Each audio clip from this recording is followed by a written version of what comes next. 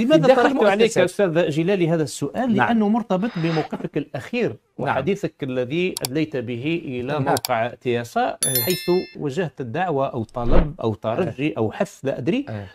فرصة لكي توضح نعم. لنا أنك وجهت الدعوة أو الطلب إلى رئيس الجمهورية الحالي ودعوته إلى عدم الترشح إلى عهدة ثانية رغم نعم. أن الدستور يعطيه هذه نعم. الإمكانية نعم. لماذا؟ صحيح لا صحيح الدستور يعطيها الإمكانيات ومن حقه ولا كانت عنده الرغبة باش يزيد يتقدم لعهدة ثانية ولكن أنا يعني آه، من المنظور تاعنا آه، حسب آه، المشروع اللي نشوفوه أحسن مشروع للجزائر وهو أنه نقوم بتغييرات كبيرة وجذرية.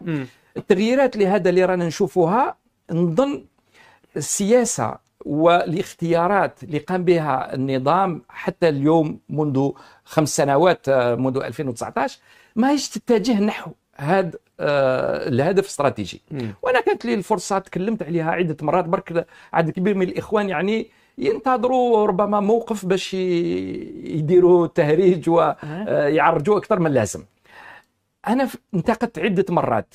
آه، أداء الحكومات المتتالية والاختيارات الاقتصادية خاصة منها والغلق الإعلامي و آه، آه، التعامل مع الطبقه السياسيه بتهميش لها. كل هذا ما نشوفش إنه رايح إلى فتح الجزائر للمستقبل.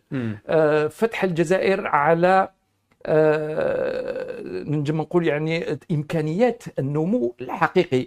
نوع من الرجوع إلى الماضي دائما نعود يعني كاين اتكال على الإدارة وعلى العدالة مثلا. الإدارة هي اللي عندها كل هيمنة في الميدان الاقتصادي وتمنع هدايا وما تخليش هذا يتحرك ونكسروا المبادرات إلى آخره. هذا الفكر هذا نظن وصل للحدود النهائية تاعو.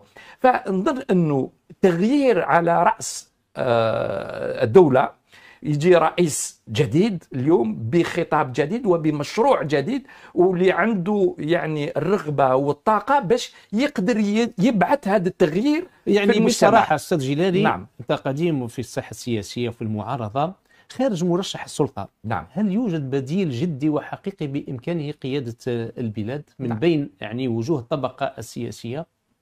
إذا تم مثلا السلطه آه، ترشيح آه، آه، رئيس الجمهورية إلى عهدة ثانية نعم. بالمناسبة أذكرك بأن ضيفتنا في لويزا حنون الأمين العام لحزب العمال في هذا البلاطو في شهر رمضان قبل ثلاث أسابيع ذكرت بأن في أحد لقاءاتها مع السيد رئيس الجمهورية قال أن في الحقيقة قضيت سنتين ونصف فقط يعني في تطبيق البرنامج وهذا ربما استنتاج ليؤدي به إلى آه، عهدة ثانية لإكمال البرنامج. هنا باش تقول لنا الموقف نتاعك لماذا أنت مثلا تعترض على أن يستمر لعهدة ثانية؟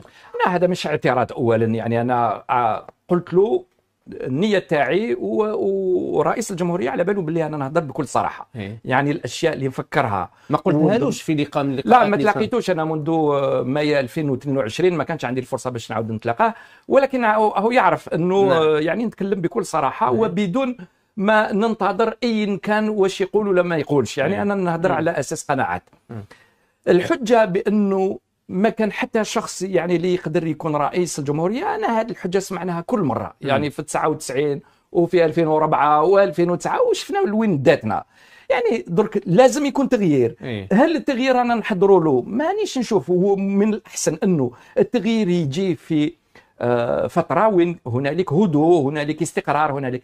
درك الجزائر هذه ما بين 44 مليون ولا 45 مليون اليوم ما كانش جزائري اللي عنده يعني هذا الإمكانيات والخصوصية باش يقدر يسير البلد. نظن ممكن جدا يخرج من آه، من السلطة ولا من الأحزاب ولا من الحكومة ولا من ولكن تحمل يعني نوع من مشروع جديد. مم. علاش نشوفوا الدول كاين آه، قبل ما 40 سنة يصبح رئيس نعم. جمهورية. نعم. وحنا واحد عنده 70 سنة ونقولوا راه شاب ما يقدرش يروح ل... لازم شوية تكون واحد النوع من الجرأة. نعم. اللي صبحت غايبة. فإذا شوف شوف طيب. أنا نقول لك هذه فكرة إنه دائما نشوفوا الاستقرار ونبحثوا على الاستقرار. في نهاية الأمر الاستقرار واش جمود. جمود والجمود هذا هو اللي راح يؤدي بكوارث من بعد ذلك. فإما نواكب التغيير وإما التغيير هو يتحتم علينا. نعم. ونظن أن الحق وقت هذا التغيير لأن في نهاية الأمر آه نشكر رئيس الجمهورية على كل ما قام به في هذه العهدة. آه حقيقة عاود رجع البلاد إلى استقرار عاود رجع عدد كبير من الأشياء خاصة انتهينا مع هذوك الناس اللي كانوا ينهبوا في البلاد إلى آخره. وأدى الواجب نتاعو ونظن هو يعني دار مسار طويل جدا ولكن لكل إنسان حدود ونظن أنه البيئة العامة في الخارج في الداخل آه، تغيير الأجيال كل هذا يتطلب اليوم برنامج آخر برنامج ليدفع بالجزائر إلى هذا التغيير. اذا أنا سأضعك